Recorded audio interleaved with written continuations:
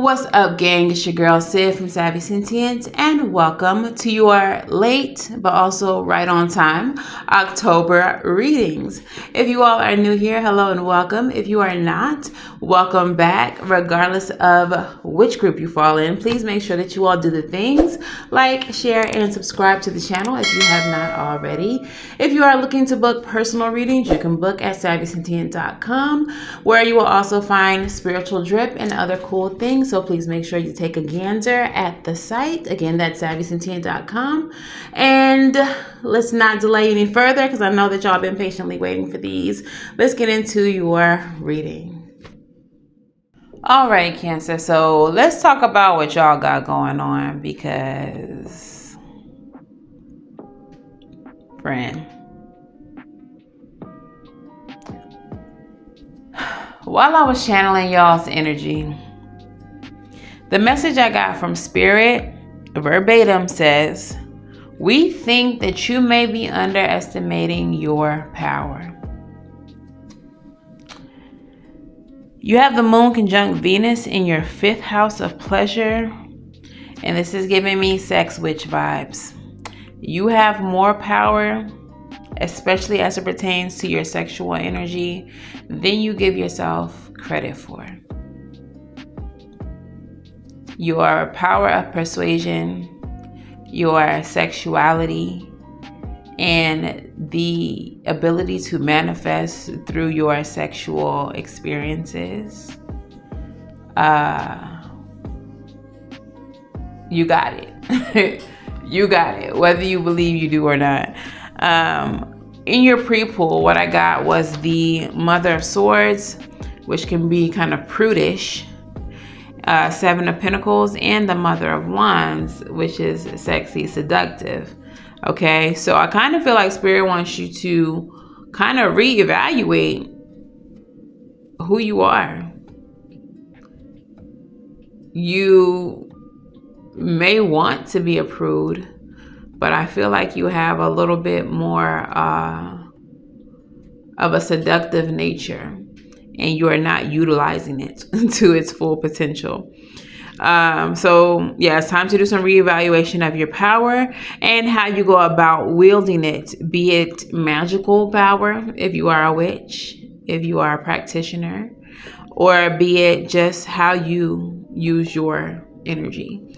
Okay, so we have the strength as your overall energy in the reverse so weakness, doubt, uh, your ego not so big, or it may be uh, bruised, or um, you just may be operating out of an unhealthy ego, along with the Ten of Wands in the bottom of the deck.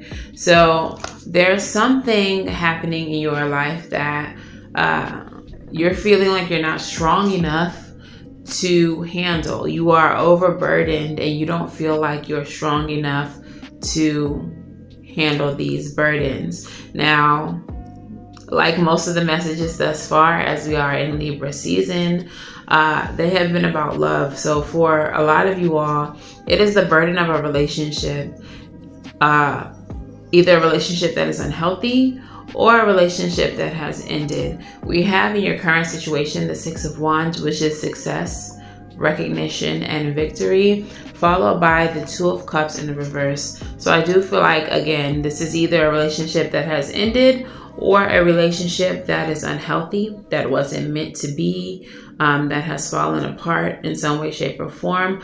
But you want success with this person. You want success and victory because you feel like this is your person. You feel like this is your wish fulfillment. Okay, with the Nine of Cups coming out in your current energy.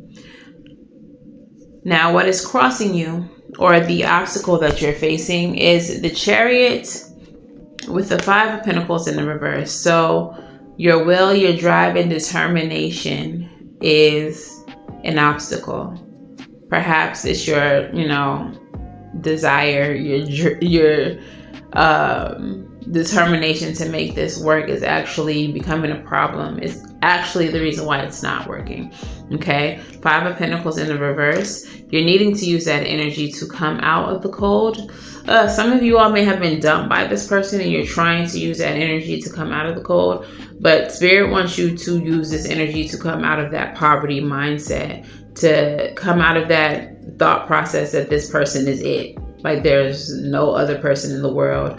Like they stop making people when they stop making that person. That's not the case. And they want you to stop limiting yourself um, because it is making you weak. Seven of Wands energy. And it is making you come off as weak. And to this person, whoever this person is, perhaps they even view you that way. Like, um, I left you out in the cold. I dumped you and you're sitting here begging me, you're sitting here trying to come back, you're sitting here um, being weak for me. They may be getting off on that. They might like, mm. For some of you all, this person loves that. They love that. And um, I'm feeling that, but also in your conclusion, in the energy of conclusion, we have the judgment card and the judgment card is followed by the two of swords, crossroads energy, impasse energy. The two of swords in this deck is represented by scissors that have blades that are opposing. So they can't cut shit because the blades don't work together. They don't work in tandem, just like you and this person don't work together. Okay. So the judgment is that it's no, this person's not going to take you back. They're going to enjoy how much you want them to come back to you. Um, but they're not going to take you back. And um, perhaps for some of you all, it's you that's going to see, like, I don't need this person. I can't take this person back. I, I can't keep trying to get their attention and to get them to see me. For some of you, that Six of Swords, that Six of Wands is about recognition and getting this person who you didn't work out with to see you. They're not going to. They're not going to. They never have. For some of you, it's not just about being seen physically. You want to get them to recognize that you are the wish fulfillment, that you are the perfect person for them, that you are, you know, the wife or the husband that they should want and desire and deserve. But they don't see that. And so now it's becoming desperate. And so the conclusion needs to be King, uh, Knight of Pentacles, that you move forward, that you plan your steps and work your plan and move towards something better, something more stable, something more reliable than whatever this is you got going on with this person. I feel like you are going to start to see what I'm saying as far as you know this person enjoying the torture that you're sending yourself through with the knight of cups and the king of wands both in the reverse this person is abusive narcissistic uh, like I said, they're very much enjoying you squirming, scrambling, and doing all that you can do to try to get back in with them. But whether it's you or whether it's them, bottom of the deck, Santa Muerte, something's gonna come and shake this all up.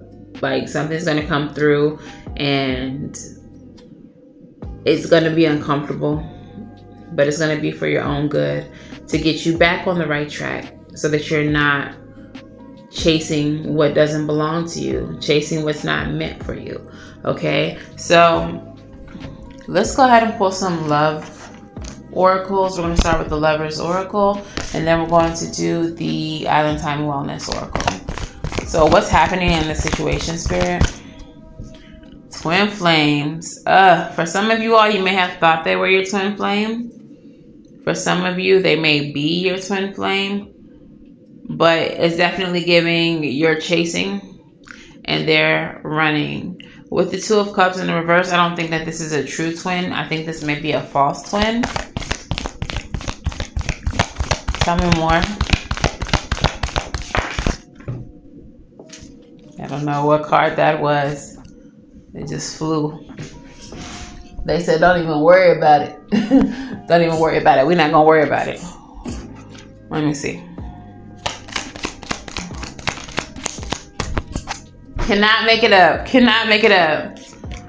The Runner is the first card that came out. They are running in a track star. Runner in a codependent relationship, fear of intimacy, listening to ego. They're running from you. And you are chasing the hell out of them. Keys on a ring, many options, decision, unconventional, string along, one night stand. You just want a mini. You're chasing them, they're running from you, but you just want a mini. You think they're your twin, and for some of you, they may be your twin, but now is not the time. Paradise, happiness, expansion, joy, playfulness, oneness, enjoying each other. Yeah, they are here for a good time, not a long time, is what I feel with that paradise card seduction, attraction, flirting, dating, hooking up, temptation, third party interference at the bottom. They may have ran off with somebody else. Um, so with that card that flew off, the message that I got from that was that's your energy. Like you have so much to say. One of the, that card that flew off had like a paragraph worth of stuff on it. Um, but I feel like you have a lot that you want to say and spirit's like, it's not even worth saying. They don't care. That person does not care. Okay, so Moonology, what messages do we have for Cancer? Show the world the real you, full moon in Aquarius. What's happening here, the way that you are currently showing up in the world, is giving hot mess, and that is not who you are, Cancer. But that's how you are showing up right now because of this situation. It's time for you to release and awaken with that Aquarius energy and that full moon energy. And bring back the real you. Look at you. Don't let the past hold you back. Okay? We got that South Node showing up for you. Leave this person where they at. They slowing you down and holding you up. And what's the last moonology? Uh, we got two. They said your dreams need a practical plan, full moon in Taurus, and be bold and make the first move. What I'm feeling like with these two cards, because you did show up as the Knight of Pentacles towards the end of the reading, which is Taurian energy, is that you need to redirect your energy towards something more practical, something that's going to uh, better serve you in the future. Like your energy has to be redirected. Be bold and make the first move towards your future. Stop chasing them. I'm hearing Young M.A in my head right now. Oh, she said, mm, mm, mm, stop chasing that bitch.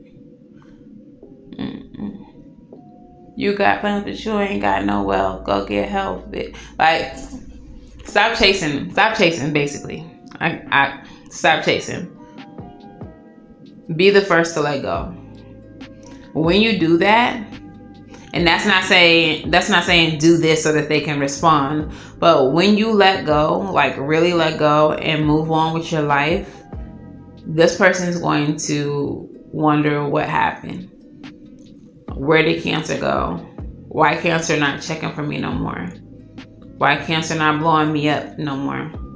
Why cancer not in my DMs no more? Who was this that Cancer is with? Looking all happy. All arm in arm on the gram. Who is that? Now they're gonna be checking for you. But that don't mean try to make them jealous and go get somebody and nah, that's not what I'm saying. I'm saying go live genuinely happy. Let them hold their L. Okay, so let's get your postcard from Spirit. Oh, let's get your advice first. And then your postcard from Spirit. Advice. What is the advice? Period. Period.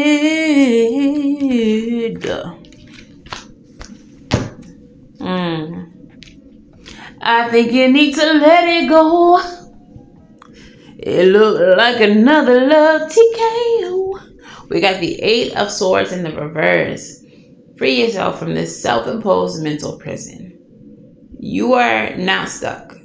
You want to be stuck. You here because it's where you want to be. But spirit not holding you. This person not holding you. You holding you here. It's time to dead the bullshit.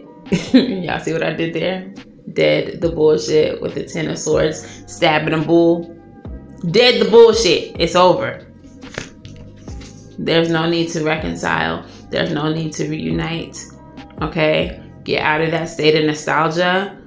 What once was no longer is, so let it go even though this may be regretful with the Five of Cups. But the message of the Five of Cups is like, yeah, sure, there's some regrets. You wish things could have played out differently. Three of your cups is knocked over, but two are still standing. Two are still full, which means you still have opportunity. So what you gonna do with it? Make the best of what's left. All right, postcard from Spirit. Let's hear it.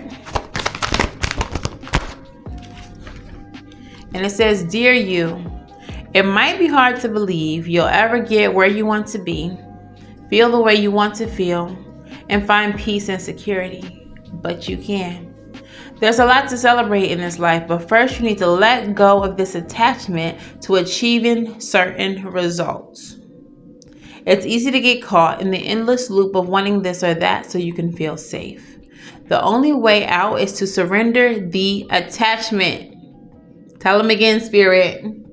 Surrender the attachment. It's the only way out.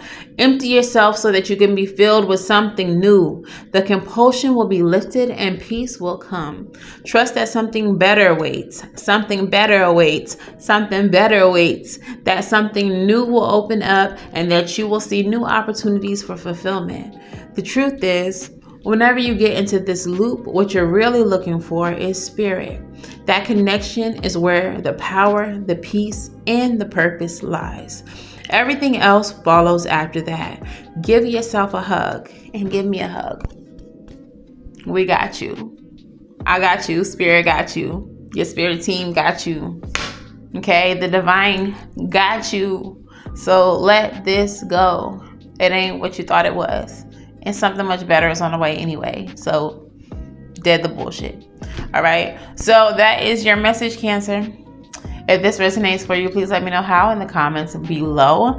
If it resonates a little too much, you need a personal reading, go ahead and book at savysentient.com. And of course, until the very next time I read for you all, I wish you all a love and light. Now go get right, and I'll see you in the next one. Bye, y'all.